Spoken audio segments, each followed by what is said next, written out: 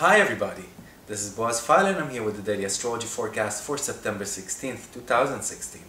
So today we have a lunar eclipse in Pisces, 24th degree of Pisces. This is a very energetic day. This is a day that is full of passion and full of desires and full of hot winds going all around. So before we even get to the eclipse, let me say that the moon will be squaring Mars and, and quincunxing Venus today. That means that we could be engaged in taking care of everybody and forget ourselves and our own desires and our own needs and then feel like we sacrificed too much or, or feel some resentment towards the people we actually catered to. So just remember to put your own needs in a respectful place and give also to yourself.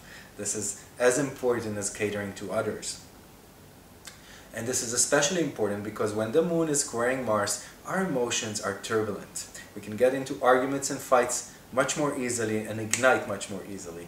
Especially ideological arguments are, are prone today. So just, it, it's not a day to take sides. It's a day to reconnect into your inner peace and tranquility to something a lot more feminine and soft and just resonate within that today and free yourself from fears, from unwanted desires, from unwanted uh, behavioral patterns, and, and really uh, accept the new updated self for this uh, after eclipse season.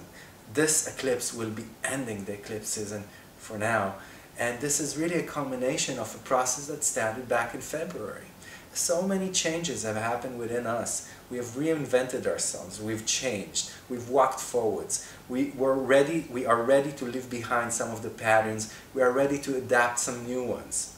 We are not fearful anymore to uh, go and, and conquer goals and mountains in our life that we have been uh, stagnated uh, by before.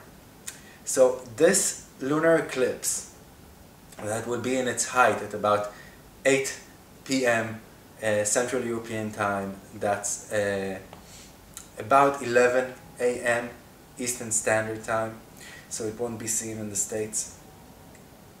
And this is really a time to free yourself from fears, to fear, free yourself from these patterns, to accept the new you and put it in and then present it to the world. So this is a great time for doing a healing ceremony, for doing some meditation, for concentrating on the person you want to become in the time ahead. And we'll be holding a meditation and a ceremony here in Israel at the time of the eclipse. And you are welcome to join us from wherever you are around the world and sit, whether it is by yourself or with people that you love and care for, and prepare yourself spiritually, spiritually and emotionally for the time ahead. You will be needed as a worker of light, so prepare the vessel. Thank you for listening. This is Boaz Fyler. Goodbye.